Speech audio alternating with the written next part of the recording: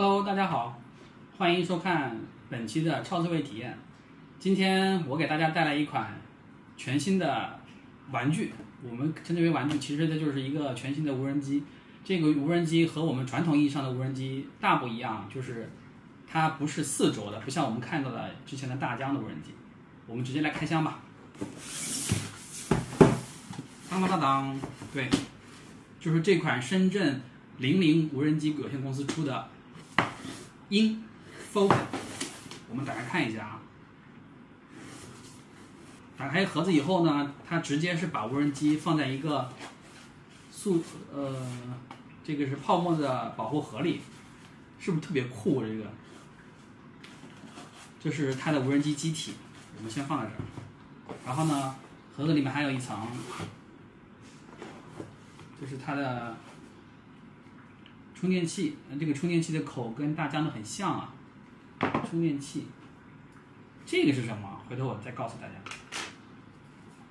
电源，还有数据线，还有备用讲页，还有螺丝刀，说明书啊，这个我们放在一边。啊，这是无人机的附件，好放在这儿。我们现在就打开这个新的双旋翼 Focus 鹰无人机，哇，这什么感觉？就像一个未来科技的东西，你看，当当当当，仔细看，对这个两轴的无人机，明明他们最初现出的时候设计这个概念的时候有一两年了，我这最小最早知道的时候，但是真的没想到它这个会等了这么长时间，哇，这个重量还是挺重的，它这官方的重量是七百五十克。拿拿到手里还还是挺挺沉的，这感觉，比比之前用的那个大疆的 Mavic 要感觉要重一点。我觉得估计就是主要是在它的那个呃电池上吧。然后我们现在仔细看一下这个无人机，没拆封的啊。然后这上面明确写着。展开收起机臂时，请务必完全按下机臂按键，并全程按住，直至机臂完全展开收起。就是说，它这个地方特别说明，这个地方有一个按钮，按了这个以后，把这个桨、这个机臂升起来，就是它的完全展开的样子。好，我们现在把它拆开了。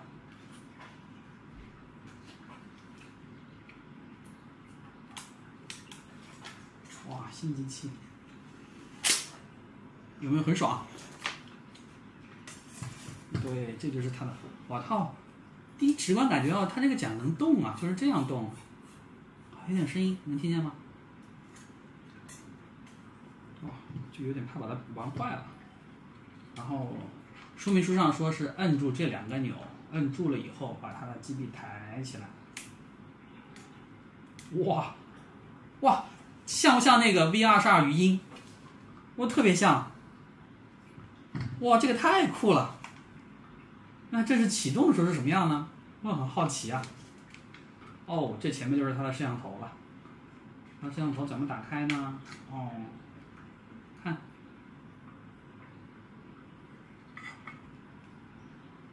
哦，这个和传统意义上的那个摄像头还有点不太一样。这个也是机械防抖。哇，就是这样。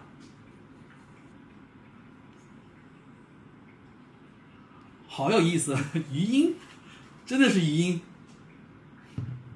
我回头会放一张 VR 上语音飞行的那个视频，做空中拍的，就跟它长得一模一样。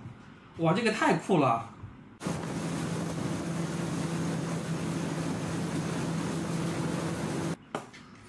然后我们仔细看一下，这个就是电池。嗯，哇，这电池哦，最大的重量就是这个电池，这个电池很重的。十五伏充电电压十七点六，四千五百毫安，哦，怪不得，你知道吗？这个飞机除了这个旋翼以外，双旋翼以外，最大的特点是什么？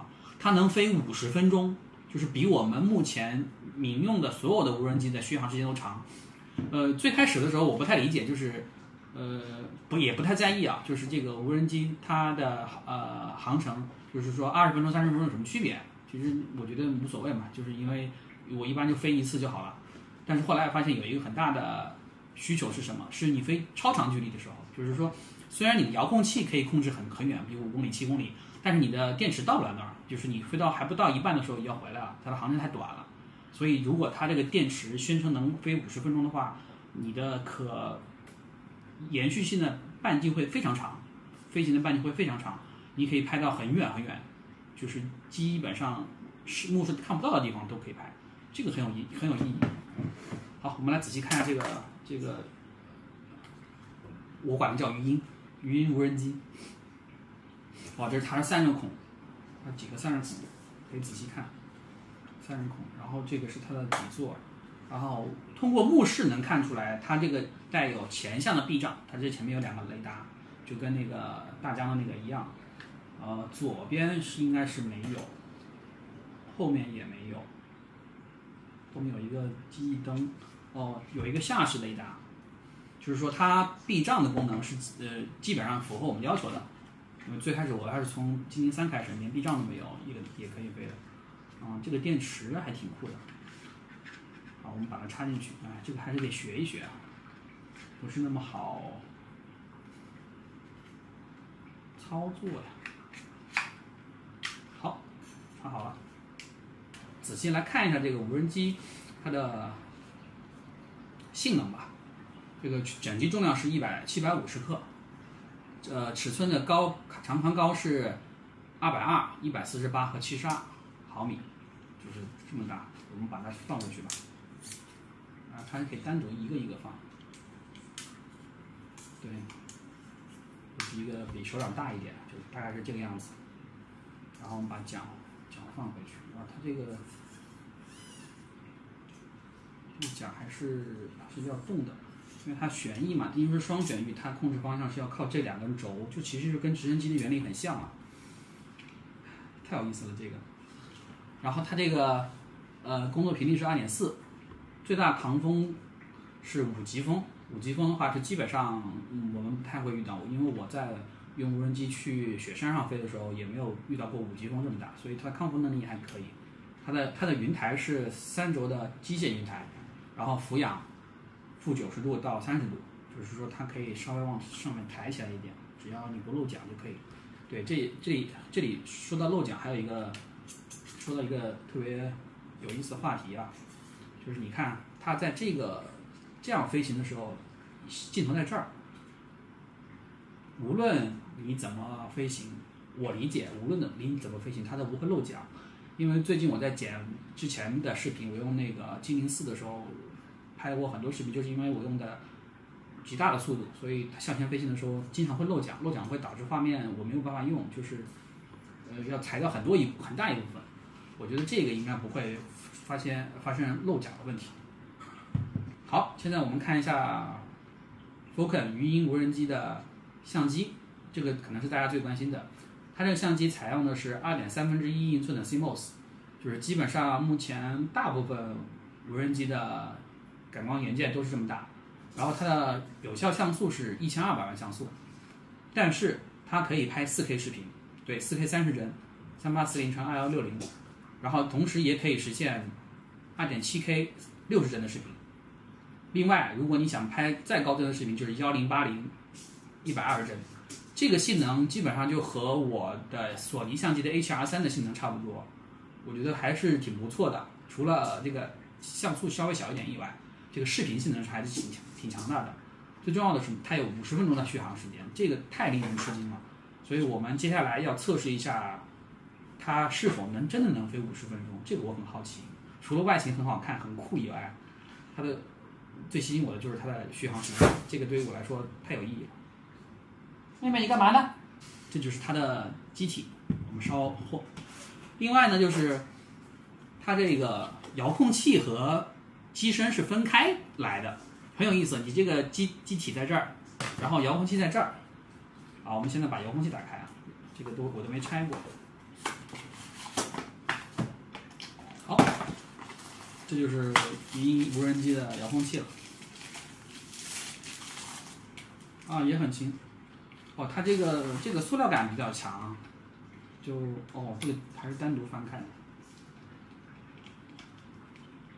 嚯，从下翻上来，有意思，哦，没有没有杆儿，杆在哪儿呢？哦，在后面，看见了吗？就是跟大疆的那个 Mavic 很像，然后。我们把杆儿，啊，这个放一边，把杆儿装上。然后就是手机就放在这儿了，就就就这样夹着，就是它的两个摇杆，可以设美国手、呃日本手什么的，就我们平常使用的。然后这个是电源开关，然后这边是一键返航和急停，然后这是它的天线，然后这有这边有两个滚轮，滚轮可以设置俯仰角度，然后这一边是。录像这边是拍照，就跟我们很多功能是一样的。然后这个这边两个还有两个自定义按钮，相当于它这个基本上你手不用离开遥控器可以控制它所有的功能。最后呢，我们来解答一个谜，这个是什么？很有意思，我看了说明书才知道，这个是它的起落架。你第一次听到无人机有起落架对吧？而且是可拆卸式的，那怎么用呢？刚才我研究了很久，然后才从通过说明书上才知道。这个它这个起落架先先要先安在电池上，把这个电池扣在这个电池的这个前前部，就对着这个地方，然后扣紧它，听见啪嗒一声，好，这起落架安好了。起落架安好了以后呢，再把飞机拿过来，然后把起落架安在起落架连电池安在飞机上。啪嗒一声就好了。现在就是一个带起落架的鱼鹰无人机，怎么样？是不是很帅？好，最后我们到室外来测试一下鱼鹰无人机的飞行性能。启动了，经典运镜，手动控制，多项跟拍。好，试一下，来。确认。哎呀，哇，好酷啊！升啊！哦，声音好小，这个。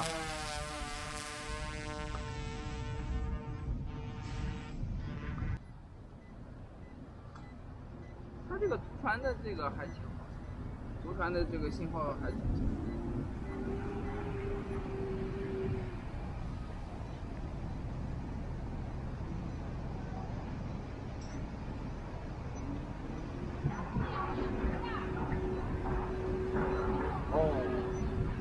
它平均速度是八米每秒。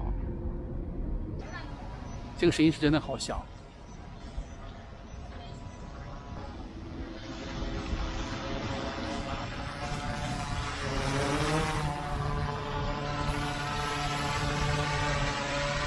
哦，声音真的好响。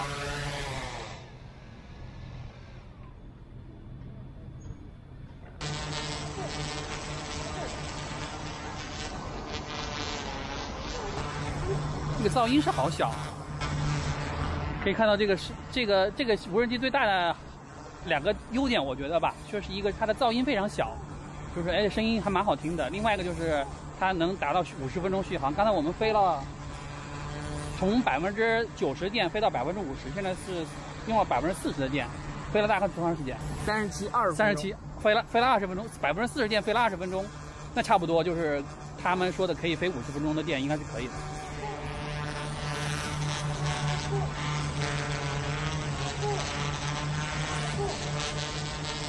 先先测试了一下这个零零无人机的那个叫 Falcon，我管它叫鱼鹰，因为你可以看一下，你转过来，是不是就跟那个 VR 杀鱼鹰一样很像？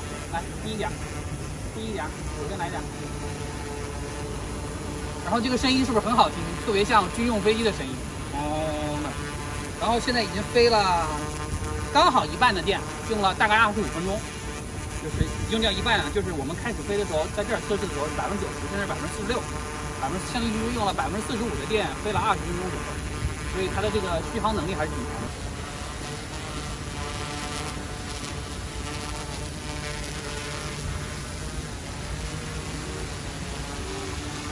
落地啊！